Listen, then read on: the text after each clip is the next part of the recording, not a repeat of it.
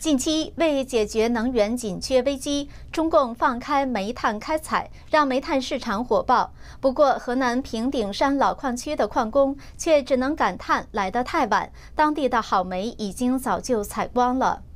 在河南平顶山的一个老矿区，一位老矿工正站在劣质煤堆上，想从里面挑出还可以燃烧的煤炭。这些煤质量不高，但可以卖给一些小企业。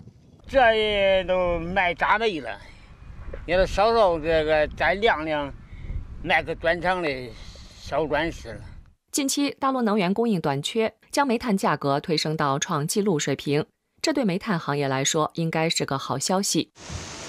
今年煤炭行情上涨，河南的供应商确实很想多产一些煤，但是由于煤矿安全等条件不够，今年六月河南至少有八名工人死于矿难。另外，对老煤矿产区来说，好事来得太晚了。经过一个世纪的过度开采，这里的煤炭资源几乎枯竭，同时对当地的环境已经造成了无法挽回的破坏。新唐人记者赵凤华上镜综合报道。